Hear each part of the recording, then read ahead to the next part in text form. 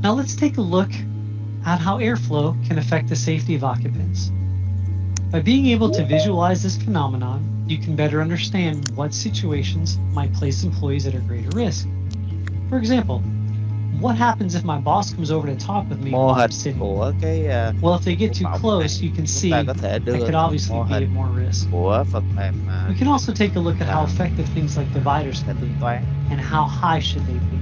things like that. By leveraging our 3D CAD data, these types of what if scenarios are a breeze. Yes, pun intended. As you can see, being able to see different design ideas side by side makes it easy to evaluate different options and trade-offs to help keep employees safe. Whether the space is large or small, we have a lot of ways to evaluate the effectiveness of the airflow. One common method is to explore the local mean age, or how long does the air remain in the.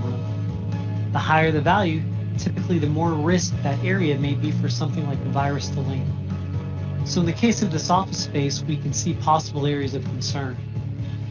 Maybe we could move diffusers, maybe we could rearrange the desk, or maybe we could just add additional air filtration to make sure the risk of contaminants is reduced.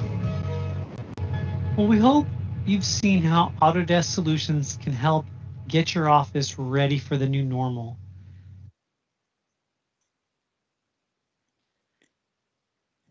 Thông qua cái clip vừa rồi là chúng ta thấy được là họ áp dụng cái à, CFD để tính toán cái à, phương, tính toán mô phỏng cái à, để mà áp dụng cho cái việc là bố trí chỗ ngồi sao cho nó hợp lý về cái mặt khoảng cách khi mà có Covid 19 thì họ sẽ bố trí làm sao cho cái cái cái luồng không khí của mỗi người khi khi làm việc hoặc khi nói chuyện nó sẽ tránh được là nó sẽ sẽ cái khoảng cách đến cái người đối diện của mình à, cho nó phù hợp với à, các tiêu tiêu chuẩn à, để đảm bảo an toàn trong cái giai đoạn Covid.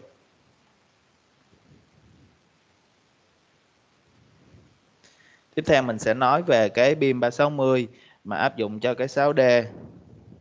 Thì với cái à, các cái sản phẩm BIM 360 hiện nay thì à, đây là, là cái bảng thống kê chung. Thì các bạn để ý là nó có hiện nay là nó sẽ có những cái uh, BIM 360 chính là BIM 360 Doc nè, Design, uh, Coordinator và Build. Thì những cái BIM 360 này nó theo cái hình tháp này là các bạn để ý là các cái phiên bản cũ của nó trước đây là là những cái chỗ màu vàng ha. Chỗ màu vàng này hiện nay á, là đã đổi tên thành cái BIM 360 à, ở trên màu xanh. Thì á, cái mà có thể hỗ trợ cho cái cái 6D của chúng ta trong giai đoạn à, này á, là BIM 360 Build ha, Construction IQ thì nó sẽ có cái phân tích về các cái à, liên quan đến vấn đề thi công để hỗ trợ cho bên nhà thầu hỗ trợ cho các cái đơn vị tham gia thực hiện dự án ở ngoài công trường có thể phối hợp được với nhau.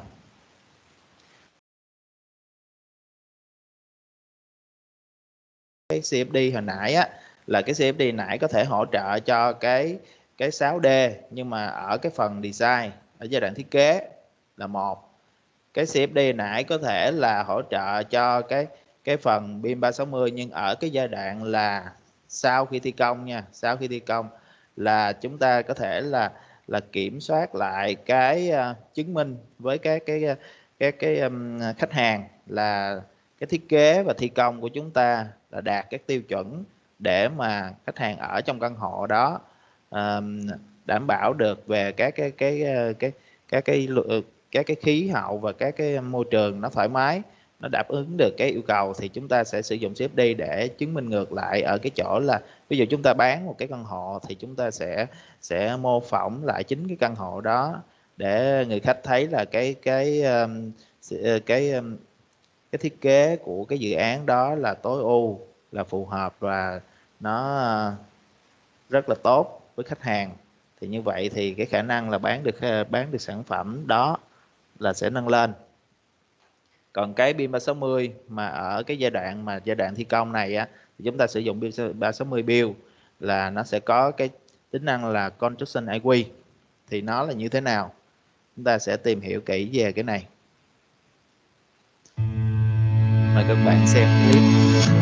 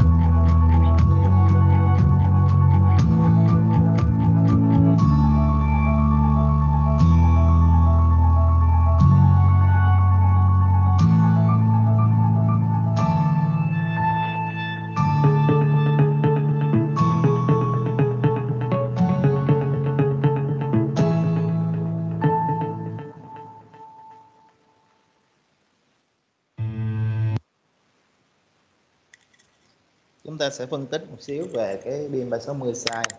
inside. Thì cái giai đoạn chúng ta sẽ sử dụng cái BIM 360 inside này trong giai đoạn phân tích. Thì à, nó sẽ hỗ trợ cho các cái giai đoạn BIM á, thì à, nó ở đây nó có sẽ có nhiều giai đoạn 4 giai đoạn ha. Giai đoạn thiết kế nè là là BIM 360 á, thì những cái BIM 360 khác sẽ hỗ trợ cho chia sẻ công việc có kiểm soát ha hợp tác và phối hợp à, phân phối. Rồi cái giai đoạn reconstruction là trước khi thi công nha là là chúng ta sẽ tính toán các phương án thi công phạm vi công việc chi phí và kế hoạch để thi công. Giai đoạn field execution này á là giai đoạn thi công á là chúng ta sẽ kiểm soát liên quan đến chất lượng an toàn tiến độ và phối hợp của các nhà thầu. Còn cái giai đoạn cuối này là giai đoạn là chúng ta sẽ bàn giao là giai đoạn sẽ chạy thử nè chạy thử cái à, các cái hạng mục công việc à, đã thi công xem đã tối ưu chưa rồi sau đó chúng ta sẽ bàn giao và bảo trì cái dự án này. Thì cái insight á nó sẽ hỗ trợ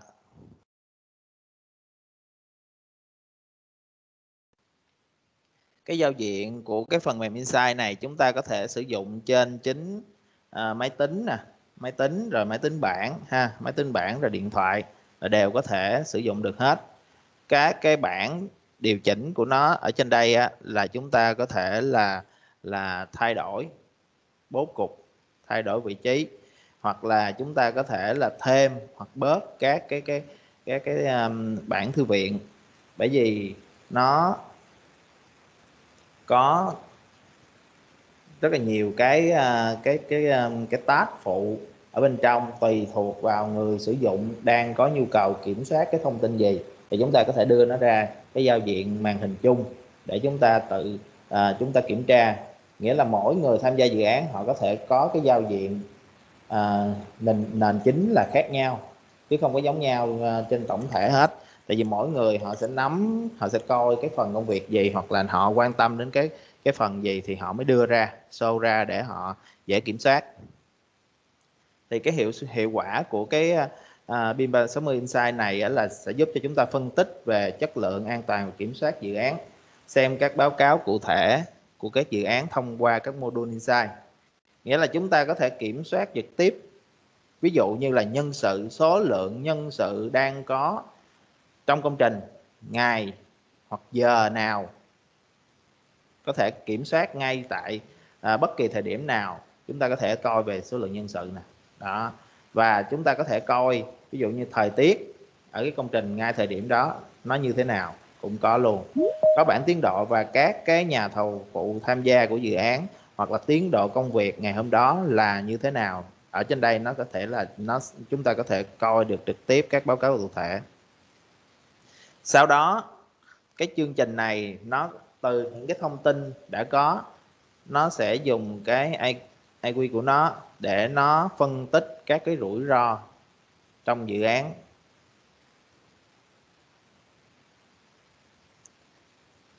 Các nhà điều hành dự án là các cái chủ đầu tư hoặc là à,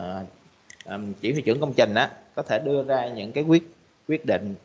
vào cái thời điểm mà công trình đang thi công á là chúng ta có thể thấy những cái việc những việc nè nó đang hai nè những cái dự cái cái cái đầu việc đang hai có nghĩa những đầu việc này nó nó quan trọng là chúng ta có thể kiểm soát được là các cái dự án đang triển khai ở nhiều nơi. Đây nè, có 39 dự án đang à, đang thực hiện. Thì những dự án nào đang gấp hay là những dự án nào đang đang chưa gấp thì nó đều hiện lên hết và chúng ta có thể coi được là vì sao nó nó lại gấp. Có thể là do nhân sự, do các vấn đề gì đó thì chúng ta chi xuất sâu vô. Với cái à, cái à, việc quản lý này nó sẽ cho được cái người mà mà chủ đầu tư họ có cái tầm nhìn về cái đánh giá trong các cái rủi ro của tổng thể dự án hiện hiện tại và trong tương lai sẽ như thế nào. Đối với cái giao diện chính của phần mềm uh, BIM 360 Insight thì chúng ta có thể sử dụng trên máy tính bảng. Thì chúng ta sẽ thấy là số người đang trực tiếp tham gia ở cái à, hạng mục ví dụ như hạng mục là à, đổ bê tông sàn à, sàn 10 chẳng hạn thì sẽ có số lượng người là như thế này ha. Và các cái những cái báo cáo ISO là có khoảng cỡ 159 cái báo cáo, ha. Những cái ờ, liên quan đến ờ, đến nhiệt độ, lượng nước hay là những cái gì liên quan đến các cái ờ, vật tư, nó đều thống kê được hết trên đây. Và cái giao diện này là giao diện hướng người dùng, nghĩa là tùy mỗi người. Ví dụ chủ đầu tư thì họ cần coi cái gì, thì họ đưa cái cái cái tab mà liên quan đến cái việc họ cần coi ra quản lý dự án thì coi uh, nội dung gì họ đưa ra. Uh, chuyển chuyển công trình họ cần coi cái gì thì họ sẽ đưa ra cái đó. Bên cạnh đó nó có thể tích hợp luôn cái phần là chúng ta có thể coi được cái mô hình 3D trên chính cái uh, cái giao diện này. Nghĩa là chúng ta có thể coi được là đang thi công ở vị trí nào. Đối với hạng mục đó thì nó đang thi công ở vị trí nào. Thì tổng thể cái mô hình này chúng ta sẽ coi rất là rõ. Và chúng ta có thể tích vô nó để kiểm tra coi là vị trí đó là như thế nào? Tại trên cái tổng thể này chúng ta sẽ nhìn không hết được nó sẽ rất là rộng. Thì chúng ta muốn coi zoom ở một vị trí đó thì chúng ta có thể là show ngay đúng vị trí đó để coi chi tiết hơn. Cái à, nơ cạc này có nghĩa là cái à, phần mềm Insight này á, là nó tích hợp với các hãng à, với các cái à, cái cái đơn vị mà mà thứ ba viết các ứng dụng thêm thì nó có thể tích hợp được để đưa vào cái giao diện này. Ví dụ như vị trí địa lý nè à, các cái nhiệt độ và thời tiết. Ngày hôm đó những cái thông tin chung của cái à, nhà thầu thì nó cũng có thể đưa vô đây hoặc các cái thông tin liên quan đến dự án nó đều có thể đưa vô hết. Ở đây nó cũng có thể tích hợp thêm ví dụ như chúng ta gắn các cái trong quá trình thi công thì chúng ta sẽ gắn thêm các cái à, camera để giám sát cái việc thi công, thì ngay lúc này là trong cái phần mềm này chúng ta có thể tích hợp được thêm những view camera vô luôn. Thì lúc này chúng ta có thể muốn coi trực tiếp ngoài dự án là nó đang thi công như thế nào, thì chúng ta lít vô cái camera để chúng ta coi thực tế của cái hình ảnh à, cái người à, đang thực tế thi công ở công trường. Đây là các cái partner khác là những cái cái hãng phần mềm hoặc là những cái đối tác thứ ba họ viết thêm những cái add-in liên quan mà mà có thể là tích hợp được với cái à, phần mềm BIM 360 Insight bạn thấy là nó có cái, cái hệ mà uh, Office 365 nè là của uh, các cái phần mềm về Microsoft đó online Excel. Rồi cái camera này là những cái mà liên quan đến là chúng ta có thể tích hợp để mà view từ xa cái công trình mà các vị trí mà họ thi công đó họ đặt cái camera để để để xác định là là số lượng thực tế của cái người à, có ở ngoài công trường hoặc là thực tế cái vật tư nó có tập kết đủ hay không. Thì các cái cái phần mềm liên quan của các hãng à, nó đã có những cái liên kết với nhau tích hợp với nhau.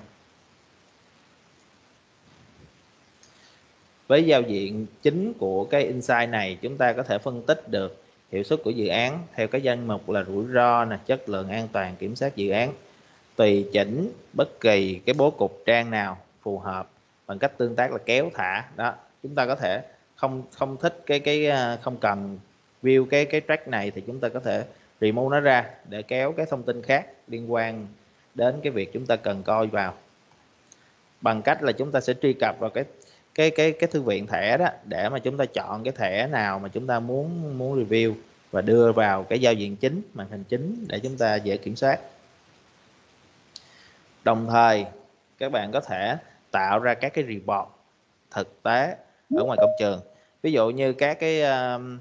uh, ở trực tiếp ngoài công trường sẽ có cái đơn vị thi công và bên đơn vị giám sát. Thì những cái người giám sát á, họ sẽ dùng cái iPad này họ sẽ đi giám sát à, dọc theo các cái à, các cái cái khu vực mà mà các người thợ đang thi công. Thì có một cái vấn đề gì đó bất cập hoặc là có vấn đề gì đó mà mà không rõ ràng họ có thể chụp hình. Chụp hình và trực tiếp đưa vào cái report RFI trên chính cái phần mềm BIM 360 này luôn Insight này luôn. À, và họ ta tình trạng và và cái à, mức độ thường hoặc là phức tạp hoặc là mức độ cao thì họ tát vào. Sau đó họ gửi DFI này sẽ nó sẽ đưa thẳng cái thông tin này đến cái cái người quản lý của cái đầu việc này. Và những người này sẽ có trách nhiệm kiểm tra lại và có cái cái cái báo cáo à, lại với tất cả những người liên quan là cái cái đầu việc này sẽ xử lý như thế nào hoặc là cái phương án xử lý như thế nào chia sẻ các báo cáo với các thành viên dự án, rồi vai trò của công ty cũng như những người dùng liên quan đến cái cái đầu việc này, ha. Đồng thời nó cũng là tạo và lập ra các lịch báo cáo dựa trên cái tiêu chí mà chữ của chúng ta. Ví dụ chúng ta có cái report này thì giao cho cái người nào sẽ trả lời cái việc này thì chúng ta tát cái thông tin người đó vào, lên cái lịch cho họ trả lời. Ví dụ là sau 3 ngày là phải bắt lại cái thông tin để để chúng ta biết là họ xử lý như thế nào. Thì mọi thứ chúng ta đều tích hợp trên BIM 360 Insight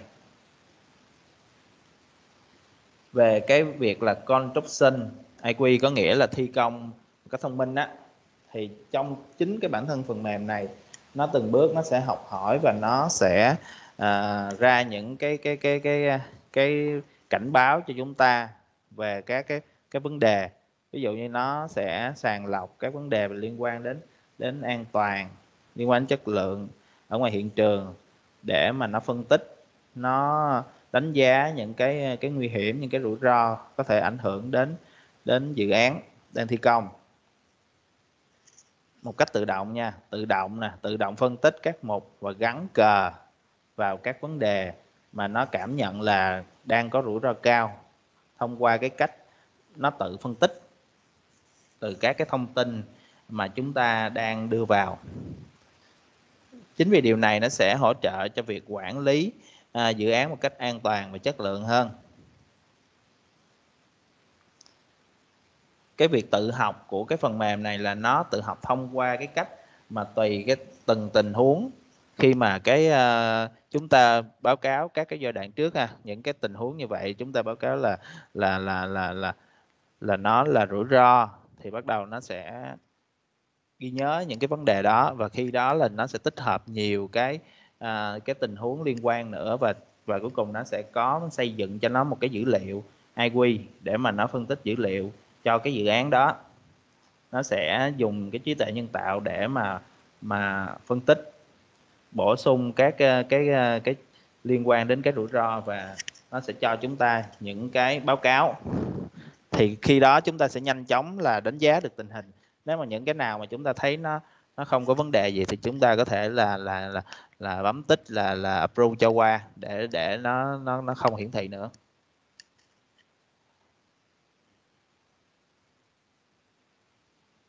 Cái phần hiện nay là là đối với beam à, 5D lên 6D thì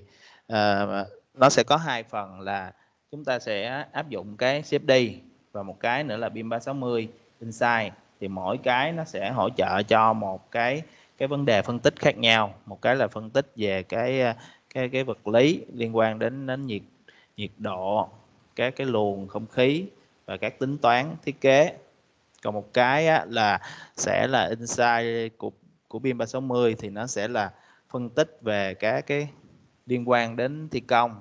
về nhân sự về rủi ro về quản lý dự án thì đó là những cái cái phần mềm mà mà hãng Autodesk hiện nay đang hỗ trợ cho cái phần để à, bình trả lời thêm.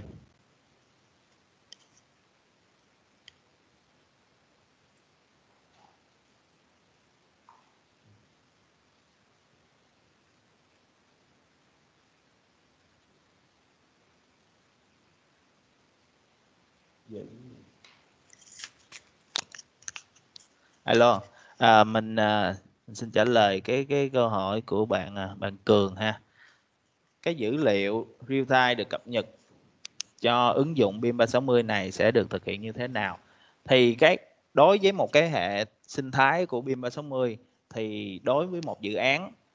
nó sẽ là áp dụng cho toàn bộ các cái à, nhà thầu tham gia dự án đó đều phải sử dụng trên nền tảng BIM 360 hết nghĩa là mỗi nhà thầu đều phải có tài khoản BIM 360 và các cái nhân sự tham gia dự án này cũng phải có. Ví dụ như ở cấp độ nhà thầu về thiết kế thì họ sẽ dùng BIM 360 build uh, BIM 360 design để họ làm thiết kế. Thì cái tài khoản đó nó cũng sẽ liên kết với chỗ BIM 360 uh, Insight này để mà họ nộp hồ sơ cho chủ đầu tư. Chủ đầu tư cũng sử dụng BIM 360 luôn trong cái hệ sinh thái đó. Rồi các cái ờ, data đó sẽ chuyển cho bên nhà thầu khi mà xác định được cái đơn vị thầu à, dự án đó. Thì à, khi mà ví dụ như ở cái giai đoạn tổng thầu đi những cái người liên quan tổng thầu thì họ sẽ có cái à, BIM 360 của họ và các cái thầu con những cái nhà thầu B B phẩy á thì họ cũng phải sử dụng BIM 360 luôn. Thì các cái đội hình từ nhỏ đến lớn đó thì họ sẽ phải tổng hợp thông tin theo từng cái cái cái cái uh, từng ngày. Có nghĩa là ví dụ báo cáo liên tục ví dụ hôm nay cái đội này nó thi công là nó sẽ có bao nhiêu người thì cái người quản lý của công ty đó quản lý ở ngoài chỉ huy trưởng công trình của đội nha chỉ huy trưởng của đội với chỉ huy trưởng của tổng thầu. Thì đội nó phải báo cáo vô cái BIM 360 của nó có nghĩa từ cấp thấp sẽ đưa thông tin chính xác vô thì cái thông tin đó nó tự động cập nhật lên cái thông tin tổng là trên cái cái cái cái tài khoản của của tổng thầu là sẽ thấy là là có bao nhiêu người tham gia cái dự án đó thi công cái cái công trình ở ngoài công trường vào thời điểm đó. Và các cái các cái những người tham gia đó đều có cái tài khoản à, liên quan đến cái BM60 hết. Thì lúc này về về mặt nhân sự họ sẽ kiểm soát được. Cái thứ hai là những cái vấn đề về về vật tư về các cái um, cái đơn vị mà mà mà quản lý về khối lượng mà vật tư à, đưa vào công trường thì họ cũng phải có những cái tài khoản này họ cũng phải nhập vô những cái thông tin để cái uh, tổng thầu họ phải nhìn họ phải nhìn trực tiếp từ cái cái thông tin tổng tổng hợp đó để mà họ ra quyết định về cái cái hướng thực hiện cái dự án trong cái tiến trình mà kế hoạch họ đề ra. Họ sẽ coi theo cái thực tế đó nhưng phải báo cáo được từ những cái đơn vị thấp hơn phải nắm vững cái quy trình BIM này để mà cập nhật thông tin cho nó đúng. Cảm ơn bạn cường.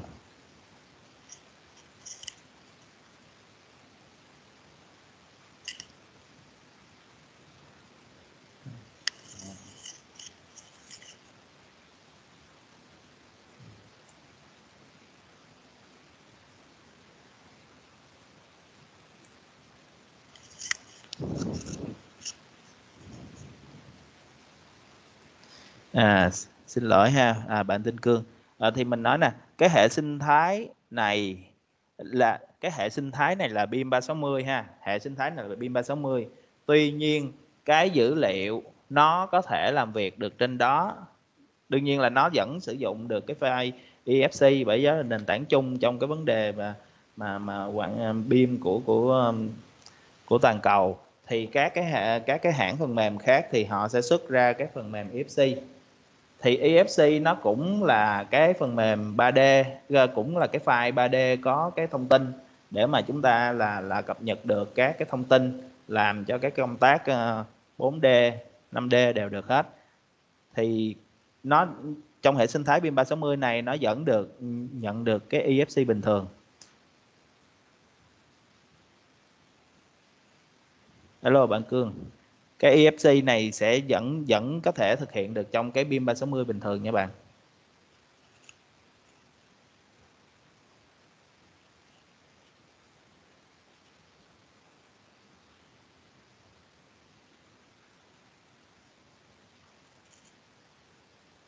à, bạn còn thắc mắc gì nữa không ạ à?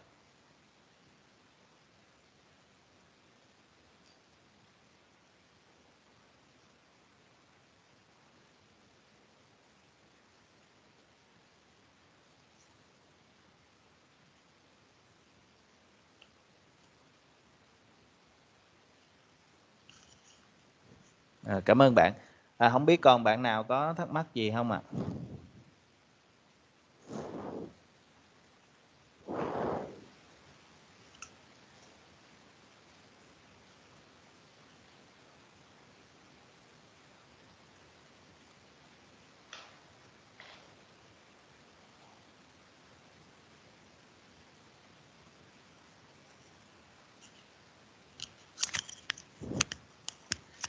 Nếu không có thắc mắc gì thì các bạn có thể là là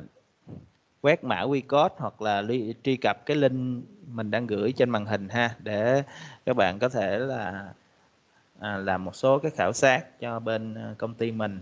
Đồng thời nếu mà có thắc mắc gì các bạn cứ à, à, gửi mail hoặc là gửi các cái thông tin vào các cái tài khoản của bên công ty để mình có thể à, trả lời lại theo mail của các bạn.